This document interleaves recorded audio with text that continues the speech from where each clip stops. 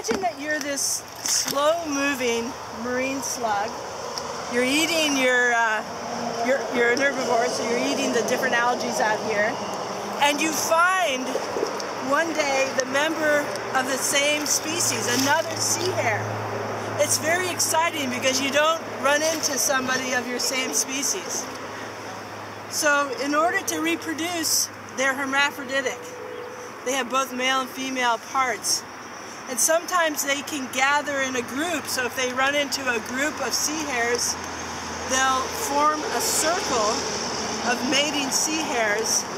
And sometimes it's just in a chain. So the first sea hare in the front always acts as a female.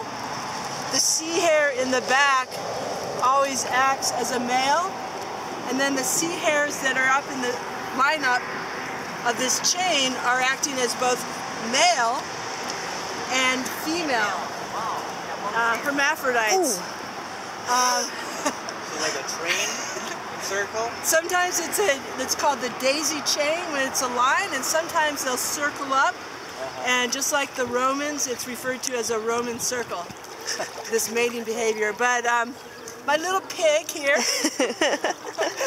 is just you know thank you all for coming out. You've made my day because I, um, in the last year, I've been finding sea hares quite regularly here, but before this last year, I, for 15 years, I've seen uh, one or two sea hares in here. It's one of those things when you start looking for a shape, you start to see it, and that's kind of what, what's happened. I'm really looking now for the sea hare.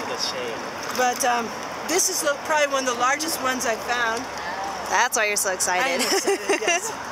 And anyway, it's kind of a special little treat. Bye.